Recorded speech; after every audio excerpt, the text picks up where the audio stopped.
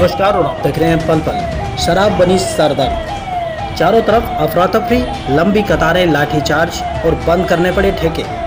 पल पल दिल्ली से विशेष रिपोर्ट। कोविड 19 के दौरान लगे लॉकडाउन में और दिल्ली सहित कई जगहों पर शराब की दुकानें खोलने का फैसला सिरदर्द बढ़ता जा रहा है। शराब के शौकीन लोगों ने लॉकडाउन और सोशल डिस्टेंसिंग जैसी सारी लक्ष्मण रेखाओं को तोड़ डाला। और नतीजा यह रहा कि शराब के ठेकों के आगे 500-500 लोगों की लंबी लंबी कतारें नज़र आईं।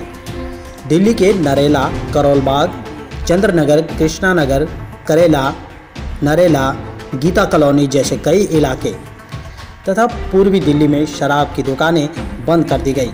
हालाँकि ये दुकानें पहले से खुली थी। लोगों में भारी संख्या में यहाँ पर हर जगह कतारें बनाई और बड़ी बड़ी लाइनों में शराब लेने लगे। कुछ लोगों ने तो वहीं शराब पीनी शुरू कर दी और लड़ाई झगड़ा भी करने लगे और इसी वजह से कई जगह पर पुलिस को लाठीचार्ज भी करना पड़ा। वहीं दिल्ली के दरियागंज में एक शराब की दुकान पर करीबन 500 लोगों की लाइन लगी हुई थी और इसी तरह कोलकाता में भी ये सब नज़ारा देखने को मिला। वहाँ पर भी भीड़ को नियंत्रित करने के लिए पुलिस को लाठीचार्ज करना पड़ा। इसके अलावा दिल्ली के चंद नगर और कश्मीरी गेट इलाके में शराब के ठेके के बाहर भीड़ को काबू करने के लिए पुलिस को लाठियाँ चलानी पड़ी। करीबन डेढ़ महीने के लॉकडाउन के बाद सरकार ने ग्रीन जोन में शराब के ठेके खोलने की इजाज़त दी है।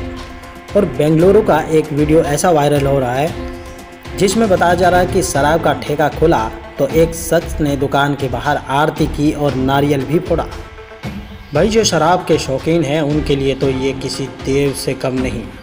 और एक महीने तक जिसने इंतज़ार किया हो, उसके लिए शायद ये किसी संजीवनी बूटी से कम नहीं।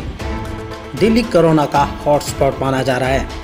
आए दिन लगातार वहाँ पर नए मामले सामने आ रहे हैं। ऐसे में जब सोशल डिस्टेंसिंग की धज्जियाँ उड़ाई जाती हैं तो पूरे देश के लिए ये चिंता का विषय है। क्योंकि दिल्ली पूरे देश की राजधानी ही नहीं बल्कि यहाँ से पूरे देश दुनिया में कारोबार से जुड़ी कई हॉटलाइन मौजूद हैं। ऐसे में लगभग 500 लोगों की ये शराब के ठेके पर बड़ी बड़ी लाइनें एक बड़ी लापरवाही की तरफ़ इशारा करती है। लेकिन ऐसे में पुलिस भी यहाँ पर बेबस नज़र आ रही है। आप देख रहे हैं पर्पल की विशेष रिपोर्ट।